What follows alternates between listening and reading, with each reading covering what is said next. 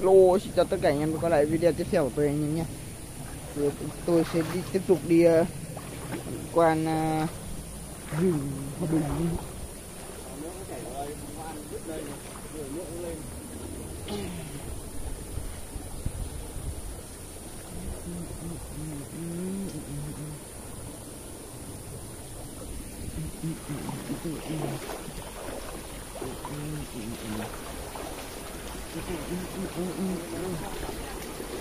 em đi xa quá em đi xa đừng đợi một giấc mơ em đi tìm có trả thử